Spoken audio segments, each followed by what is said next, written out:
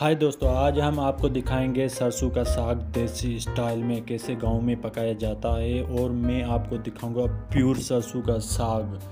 तो चलिए आपको दिखाते हैं खेती में सरसों का साग कैसे होता है। दोस्तों, आप देख रहे हो, ये खेती में है सरसों का साग और उसके साथ में घास है। से तो देख रहे हो आप कितनी ग्रीन ग्रीन और हरियाली आपको। ये देख, दिखा रहे हैं कि ये देखो सरसों का साग है, जो आप लोगों को शहर में जड़ों के साथ मिलता है, मगर यहाँ पे जो है ना मतलब ऊपर वाला हिस्सा, कच्चा हिस्सा जो होता है ना, वही जो है, लेते हैं, बाकी जो नीचे घास में ही जानवर को खिलाते हैं। मगर इसमें भी जो है, हम ये आप देख रहे हैं, जो मैं ले रहा हूँ, सो उसके बाद भी इसमें से घर में छांडी होगी। क्योंकि इसमें और भी पत्ते ज़्यादा पक्के हैं। तो आप देख रहे हो कितना खूबसूरत और ग्रीन ग्रीन है। जो शहर में होते हैं ना, वो ऐसे होते हैं पक्का, जैसे जिसको बोलते हैं पक्का साग। और ये है ना कच्चा वाला। ओ हो भाई, क्या इतना मैंने सारा ले लिया है। तो ये बहुत है मेरे लिए। समझे? इसमें कुछ हिस्सा छांडी कर लेंगे। ये आप देख रहे हो तो इसमें घर वाले कुछ इसको छांडी करेंगे और जो पत्ते, पक्के पक्के पत्ते होते हैं वो इससे निकालेंगे। बाकी जो है ना, प्योर सरसों का जिसे बोलते हैं ना, सरसों का साग, वही आपको दिखाएँगे। तो चलिए, आपको दिखा रहे हैं।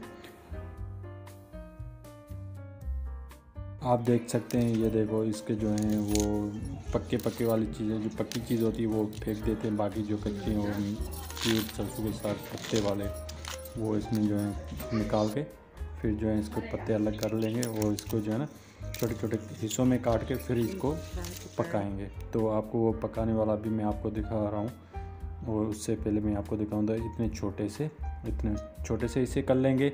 उसके बाद जो है ना, ये देख रहे हो आप, अब ये प्योर है। इसको मतलब कोई चीज़ की कमी नहीं है, क्योंकि ये देख रहे हो, प्योर सरसों का साग। इस इस तरह से खाओगे तो बहुत मज़ा आएगा आपको।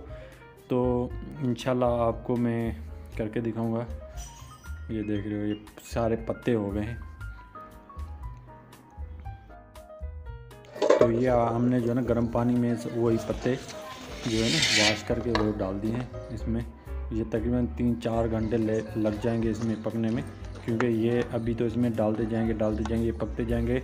ये कम हो जाएगा। इसको जो है ना, हम पानी में जो है ना वाश करके मतलब जो भी मिट्टी सिट्टी होगी, वो निकल जाएगी। तो ये साफ़ बन जाएगा, फिर डालेंगे इसमें से। तो ये पकता जाएगा और इसको जो है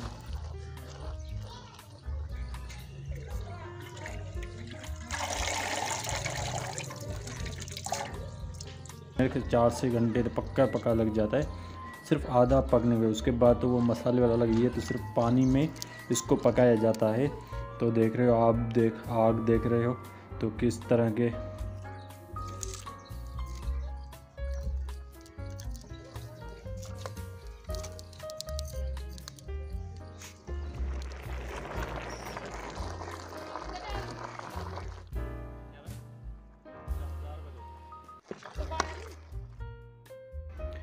अभी इसमें ये सारा इसी इसमें जो है ना इस बर्तन में डल जाएँगे। ये जो जितना भी मैंने आपको दिखाया था, ये सारा इस बर्तन में डाल के फिर पकाएँगे। तीन चार से इसका कलर चेंज हो जाएगा।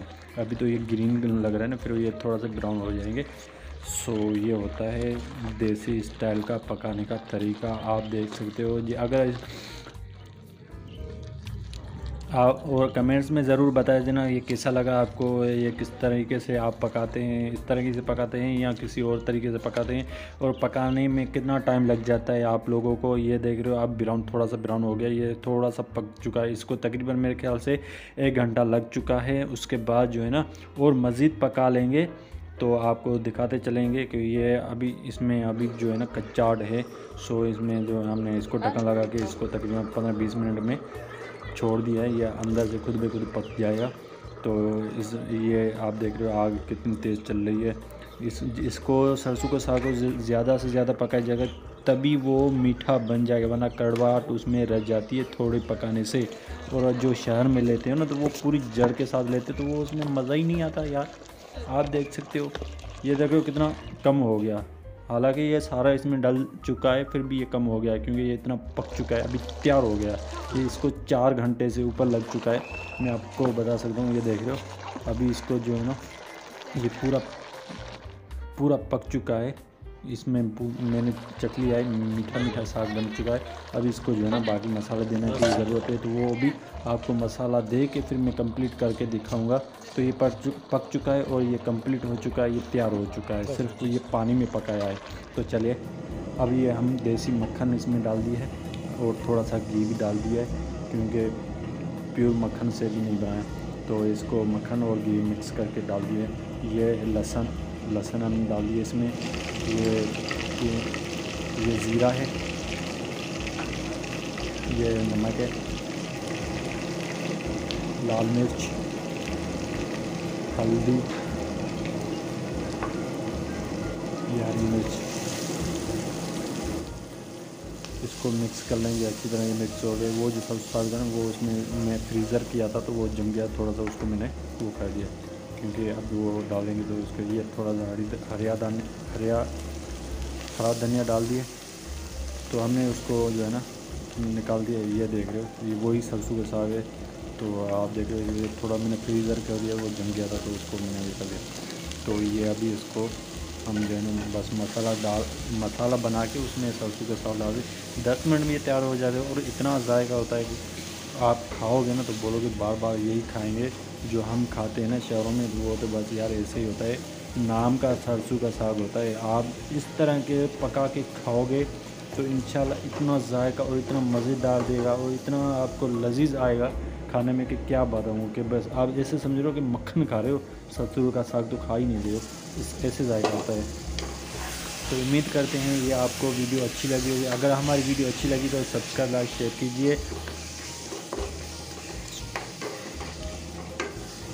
तो आप ज़रूर कमेंट्स में बताएँ तो ये आप लोगों को कैसे वीडियो लगी और ये सरसों का साग पकाने का तरीका कैसा लगा?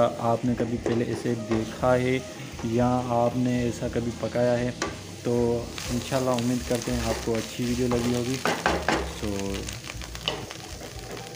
तैयार हो गया। ये देख रहे हो आप, बहुत माशाल्लाह, अल्हम्दुलिल्लाह, बहुत खुशबू ऐसी प्यारी आ रही है ना, मक्खन और घी की, ओए होए, और दूसरा सरसों का साग ही।